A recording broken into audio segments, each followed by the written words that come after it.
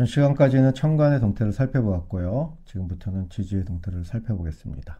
지지의 운은 월지 중심으로 살펴보고 진술충묘월은 나중에 통합해서 살펴보도록 하겠습니다. 그럼 임묘월 제격에 대해서 살펴보겠는데요. 인월의 신금은 정제격이고 묘월의 신금은 편제격입니다. 합해서 제격이라 하는데요. 신금 일간은 사시사철로 임수 상관이 귀격이 돼서 유리한 구조가 된다고 말씀을 드렸어요. 여기서도 신강 신약을 떠나서 제1선에 진신인 임수가 있어야 귀격이 되고 유리한 구조가 됩니다. 보통 제격인 경우는 식상 생재하는 구조나 재생관된 구조가 유리한 구조인데요. 그리고 제격 폐인된 구조도 유리한 구조인데 제격이라 하면 일간이 신약해질 공산이 있어서 부엌 용신으로 인비가 있는 구조는 유리한 구조인데 신금의 특징상 신금은 신강 신약을 떠나서 첫째 진신인 임수가 사주에 반드시 있어야만 귀격이 되고 유리한 구조가 되는 것이에요. 다만 제가 여기서 부엌 용신으로 기토 편인이 있는 구조도 유리한 구조라고 했는데요. 그것은 차선으로 활용하는 용법이고 일단은 무조건 신금은 임수를 봐야만이 귀격이 돼서 유리한 구조가 되는 것이에요. 신금이라는 물상은 보석이라고 했습니다. 이 보석은 완성된 보석이에요. 그래서 토가 많을 경우 토다 금매돼서 신금의 보석의 가치가 떨어지기 때문에 토를 쓸 경우에는 아주 신중하게 써야 되는 용법입니다. 그래서 제격의 기토 편인을 쓸 경우 사주 구조에 토 오행들이 일단은 없어야 차선으로 기토를 쓸 수 있는 것이니 잘 참고하시고 숙지하시기 바랍니다. 그럼 인월의 신금이 맞이하는 지지의 운은 임목은 진토를 맞이할 경우 격각의 작용과 목국토, 방학 목국의 운동을 하는 그러한 운입니다. 탐재 개인이 될 수 있는 운으로 작용될 수 있는 부분이 있거든요. 이 재성이 정인을 볼 경우 탐재 개인이 될 수 있는 우려가 있는 구조예요. 운에서 재성과 인수가 만나는 운에는 재물과 문서 치환 작용이 발현되는 운인데요. 인월의 신금이 탐재 개인이 될 수 있는 여지가 있는 그러한 명인데 정제라는 성분은 돈을 아끼고 저축하고 모으는 성향이 이 정제인데 결론은 정제는 돈을 다루지 못하는 성분이에요. 근데 운에서 월지에서 투간대 이 정제 재성을 맞이하는 운이기 때문에 신금 일간의 입장에서는 재탐을 할 수 있는 운이에요. 그래서 그동안 이 일간이 아끼고 모아뒀던 쌈짓돈으로 진토 정인의 문서를 매입해서 다시 매도해서 재적인 이득을 보기 위한 운을 맞이하는 것이 인월의 신금인데 이 정제라는 것은 돈을 다룰 수 있는 돈을 잘 다루는 성분이 아니에요. 그래서 오히려 이러한 제극인 하는 운에 내가 아끼던 모아뒀던 이 정제 돈마저도 손실을 볼 수 있는 운이에요. 이러한 재성을 신금일간이 일지로 합으로 끌어들이지 못하는 구조는 탐재 개인이 될 공산이 아주 큰 운으로 불리하게 작용될 수 있습니다. 다음 묘의 신금일간이 맞이하는 지지의 운도 진토 정인을 맞이하는 운인데요. 인월의 신금처럼 마찬가지로 목국토 방학 목국 그리고 재물과 문서의 그리고 변동수가 작용될 수 있는 운인데요. 다만 묘의 신금은 인월의 신금보다 좀 유리한 명이에요. 왜냐하면 정제라는 성분을 돈을 다루지 못하는 성분이고 현재라는 성분은 돈을 유통하고 활용하고 다루는 성분이에요. 그래서 묘의 신금 일간이 제극인 해서 재물과 문서에 취환을 할 경우 조금 유리하게 작용될 수 있는 운이 묘의 신금 일간인데요. 어쨌거나 신금 일간의 입장에서 돈을 다룰 수 있는 능력이 있는 현재이기 때문에 돈이 되는 부동산이나 주식을 매입한 후 다시 매도해서 재적인 통치를 이룰 수 있는 운이 이월의 신금보다는 유리한 운입니다. 다음 4, 5월 관살격에 대해서 살펴보겠는데요. 4월의 신금은 정관격이고 5월의 신금은 편관격입니다.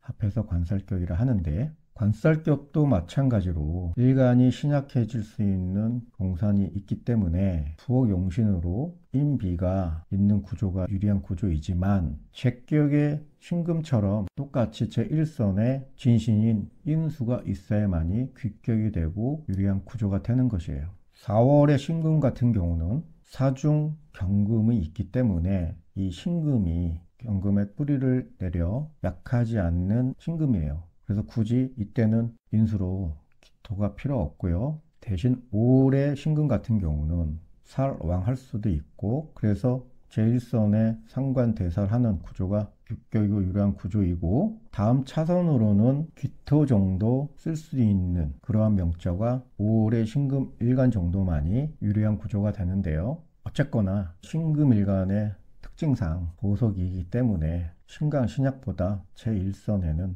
무조건 임수 진신이 있어야 귀격이 되는 것은 불변입니다. 또한 여름에 태어난 신금일가는 조후 용신으로서 수오행이 필요한데 그중 임수 진신이 있을 경우에는 더욱더 귀한 명이 되고 유리한 구조예요. 그럼 4월의 신금이 맞이하는 지지의 운은 사화가 진토를 만날 경우 관인 상생하는 구조가 되어 유리한 운으로 작용되는 운이에요. 따라서 정관도 유리하고 정인도 유리한 운으로 발현되기 때문에 직장운, 승진운, 취업, 학업, 분석운 등이 유리하게 재룡되는 운입니다. 그리고 올해 신금 일간이 맞이하는 운도 진토 정인을 맞이하는 운으로서 살인 상생하는 운이지만 다만 여기서는 격각의 작용으로 조금은 불리하게 발현된다는 점이 관인 상생하는 구조인 4월의 신금보다는 불리하게 작용될 수 있는 운이에요. 따라서 직장이나 승진, 취업, 학업, 문서 운이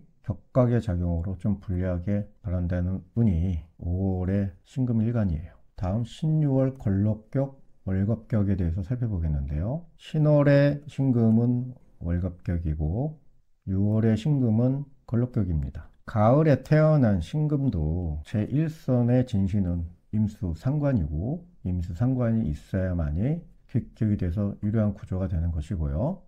다만 16월 가을에 태어난 신금은 조후 용신으로 병화가 필요한데요. 원래는 겨울에 태어난 신금 일간이 반드시 이 병화가 조후용신으로서 필요하다고 하지만 가을에 태어난 신금 일간도 조우로서 병화도 유용하게 쓸 수 있는 글자예요. 왜냐하면 조우는 조우대로 쓰지만 가을에 태어난 신금은 신왕, 신강할 수 있기 때문에 왕자의설로 왕한 글자는 설하는 것이 마땅하다 했어요. 그래서 금이 왕한 경우 금생수에서 수로 설계하는 것이 제일 유리한 구조이고 게다가 임수 상관이 진신이기 때문에 더욱더 가을에 태어난 신금은 임수를 볼 경우 더욱 휘격이 되는 명이에요. 두 번째로는 병화 글자가 조의 역할도 하지만 이 왕한 금, 이 비겁을 화급금 해서 일간의 재물인 이 재성을 빼앗아 가지 못하게끔 하는 역할이 또한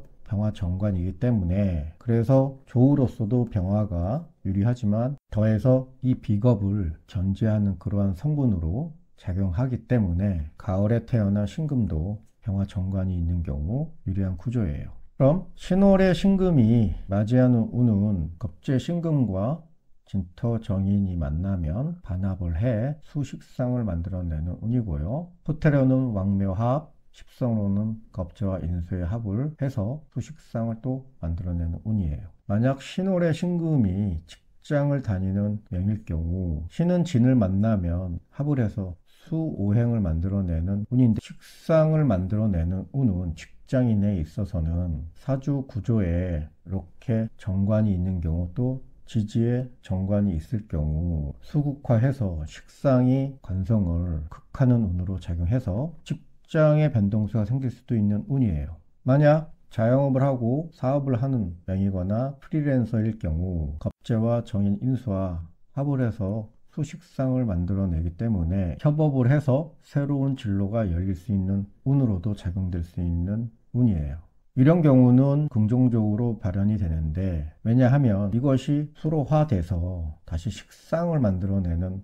운이기 때문에 이 겁재가 진토정인을 완전히 탈인하는 운으로 작용되는 것이 아니고 일간이 겁재와 협업을 해서 진토정이란 것은 문서예요. 그러면 사업장의 문서가 될 수도 있다는 뜻입니다. 그런 겁재와 새로운 사업을 설립할 수도 있다는 운이에요. 따라서 신월의 신금 일가는 갑진년 운은 새로운 진로, 새로운 일을 펼치는 운으로 스타트하는 운으로 활용하면 불리하게 작용되는 운이 아니에요. 그리고 포테로는 왕묘합하는 운인데 왕묘합하는 운은 생이라는 것은 태어나서 왕이라는 것은 제왕입니다. 그리고 묘라는 것은 묘지를 의미하는 것인데 내가 태어나서 일정 부분 정점을 찍고 그리고 나서 묘지로 들어가는 그런 운기의 패턴인데 어떠한 분야에서도 꼭 뭐 대기업이 됐든 잘난 그런 것이 아니라 자기가 하는 분야에서 일단은 한 번은 제왕으로 정점을 찍고 그다음 그 정점을 찍은 다음에는 묘지로 그 운기가 떨어지는 운기의 패턴을 하는 것이 이 생광묘 후퇴의 합인데요. 사주 원국에서 생광묘 하는 그러한 명일 경우에는 이 제왕이라는 후퇴의 성분 때문에 기본적으로 어떤 분야에서도 으뜸이 되고 최고가 되려는 지질이 있어요. 남 밑에 있기 힘든 그러한 명이 제왕이 있는 명인데요. 그래서 직장을 다니는 명 같은 경우 직장을 그만둘 수도 있는 운이에요. 왜냐? 그동안 높은 자리에 있었다 할지라도 왕묘합하는 운에 본인이 남 밑에서 일하는 성향이 아니에요. 왕이 되어야 된다는 기운을 갖고 있기 때문에 왕묘합하는 운에 직장을 그만두고 사업장을 개설할 수 있는 운이 또한 왕묘합하는 운이에요. 그래서 직장의 변동수가 생길 수 있는 운이 신월의 신금일간입니다. 다음 6월의 신금일간이 맞이하는 운은 또한 진토 정인을 맞이하는 운으로서 이럴 경우 진유합 육합을 하는 운이에요. 6월의 신금이 사주 원국에 재성이 있을 경우 이 비견은 재성을 분탈해가는 성분이에요. 그럼 신금일간의 입장에서는 이 비견한테 재물을 일정 부분을 빼앗기는 불리한 구조인데 진년에 와서 이런 경우 진유 육합으로 묶어둘 경우에는 비견이 재성을 분탈해 가는 것을 막아주기 때문에 이런 육합은 불리함이 덜한 육합이에요. 그리고 비견이라는 성분은 어쨌거나 경쟁자예요. 형제 친구도 되지만 경쟁자 동료들을 진유 육합으로 묶어두기 때문에 이런 경우에도 불리하지 않는 육합이에요. 다만 진토라는 정의는 문서에 해당되는 성분이고 학업에 대한 성분이에요. 이런 경우에는 좀 불리하게 육합이 발현될 수 있는 운입니다. 비견이 비견 유금이 진토 문서를 묶어둠으로 인해서 신금이 취할 이 진토 문서를 비견한테 빼앗길 수 있는 운이기 때문에 이런 육합은 불리하게 작용되는 육합이고요. 그리고 또한 정의란 성분은 또 학업이니까 학업운도 비견 유금한테 육합으로 묶여서 불리하게 작용되는 운입니다. 다음은 해자월 식신격 상관격에 대해서 살펴보도록 하겠습니다. 해월의 신금은 상관격이고 자월의 신금은 식신격입니다. 앞에서 식상격이라 하는데요. 해자월 겨울에 태어난 신금 또한 제1선의 진신은 임수로서 임수가 있는 것이 유리한 구조이고요. 다만 겨울에 태어난 신금이기 때문에 조용신으로서 이때는 반드시 병화가 있어야 귀격이 되고 유리한 구조예요. 보통 다른 일간들은 식상격일 경우 일간이 신약해질 수 있어서 부엌용신으로 인비를 용하는데 이 신금이라는 글자는 독특한 특징이 있어서 비록 신약할 공산이 있지만 부엌용신으로 토오행을 쓰는 것이 아니라 제1선에 임수 진신을 쓰고 그 다음 병화를 쓰는 것이 신금일간의 입장에서는 더욱 귀한 명이 돼서 귀격이 되고 유리한 구조가 되는 것이에요. 격국으로 봤을 때는 대표적으로 상반경관해서 전형적인 합격의 요인이라 합격이고 불리한 구조라 하지만 신금일간의 독특한 특징 때문에 상관경관으로 불리하게 발현되는 것이 아니라 상관의 총명함과 정관의 관록이 함께 따르는 더 귀한 명으로 작용하는 것이 해자월 한겨울에 태어난 신금 일간입니다. 그럼 해월의 신금이 맞이하는 지지의 운은 진토 정인을 맞이하는 운인데요. 해수가 진토를 만나면 먼진 기문에 걸려 불리한 운인데요. 월지라는 자리는 직장, 사업장, 그리고 부모, 형제를 의미하는 것으로서 직장운, 승진은 취업운이 불리하게 발현되는 운이고요. 학업이나 문서운도 불리하게 발현되는 운이에요. 또한 부모, 형제, 자식으로 인해서 불리하게 발현되는 운이 해월의 신금 일간입니다. 자월의 신금이 맞이하는 지지의 운은 진토 정인을 맞이할 경우 자진 앞에서 수, 식상을 만들어내는 운이에요. 신월의 신금 일간처럼 식상을 만들어내는 운으로서 직장을 다니는 명일 경우 지지나 또는 천간에 이렇게 병화 정관이 있는 명조는 식상이 정관을 극하는 운으로 발현될 공산이 있어서 직장의 변동수가 생길 수 있는 운이 또한 자월의 신금일간이에요. 그리고 원국에 신금이 있을 경우 이렇게 삼합수국을 이룰 경우 전도 현상이 야기돼서 드러난 천간에 간지를 배반하는 오행이 있을 경우 그 오행은 전도가 돼서 불리하게 작용되는 운인데요. 만약 병화 정관이 있는 명이라면 이렇게 신자진 수국 운을 만날 경우 갑자기 직장을 그만두거나 또는 변동수가 생길 수 있는 운도 발현될 수 있는 운이에요. 그래서 사주 원국에 신금이 있는 명은 더욱더 직장의 변동수가 발현될 수 있는 운이에요. 자월의 신금이 자영업이든 프리랜서의 명이라 하면 자진 합해서 수식상을 만들어낸 운이에요. 식상을 만들어낸다는 운은 새로운 진로를 여는 운으로서 식상을 만들어내는 운은 당장 어떠한 현실적인 결과물을 얻는 운이 아니라 미래를 위해 노력하고 새로운 준비를 하는 운으로 작용되는 운이에요. 따라서 신월의 신금 일간처럼 자월의 신금 일간도 새로운 일을 준비하거나 또 다른 미래를 위해 노력하는 운으로 쓰면 긍정적으로 작용되는 운이에요. 그리고 포테로는 생묘합하는 운인데 호텔로 생묘합하는 운은 생왕묘 운동을 하는 운으로서 마찬가지로 자월의 신금도 생묘합하는 운에 직장을 다니는 명일 경우 직장을 그만둘 수도 있는 운으로 발현될 수 있는 운이에요. 다만 장생이라는 성분은 태어난 갓난 아이를 의미하는 성분으로서 혼자서는 어떤 일이든 할 수 없는 성분이 이 장생의 성분이에요. 이 장생은 반드시 자기를 케어해주고 보살펴주는 후원해주는 보스나 윗사람의 보필이 필요한 성분이 이 장생의 성분입니다. 그래서 직장을 다니는 명에 있어서 본인이 잘나서 사업장을 연다 하면 10중 8구 실패할 확률이 상당히 높아요. 그렇기 때문에 직장을 다니고 있으면 반드시 그 직장 직장을 계속 다니는 것이 유리하게 작용되는 명이에요. 진술충미 구조를 살펴보겠는데요. 진술충미가 홍충파가 되면 드러난 천간의 해당 오행은 임묘입고돼서 실자는 입고되고 암시는 개고되는 운이에요. 만약 신축 일주라 하면 운에서 진축파할 경우 현관에 드러난 비겁 경진급 오행은 축토에 임묘 입고돼서 형제 친구 동료들이 불리하게 작용되는 운이고요. 술토가 있는 경우 운에서 진술충하면 천간에 병정화 관살이 있을 경우 술토에 인묘있게 돼서 직장 남명에는 자식, 여명에는 남편이 불리하게 작용되는 운이에요. 진토가 있는 경우 진진형을 맞으면 천간에 식상 임계수가 있는 경우 임계수가 진토에 임묘있게 돼서 식상하는 일 진로가 불리하게 작용되는 운이고요. 여명에는 자식이 불리하게 발현되는 운이에요. 그리고 미토가 있는 경우 진미파하면 천간에 가불목 재성이 있을 경우 이 가불목 재성이 미토에 인묘입고 돼서 재성인 재물과 남자는 아내, 남녀 모두 부친이 불리하게 작용되는 운입니다. 지지는 신금일간의 입장에서 진술충미는 모두 인수에 해당되는 성분이에요.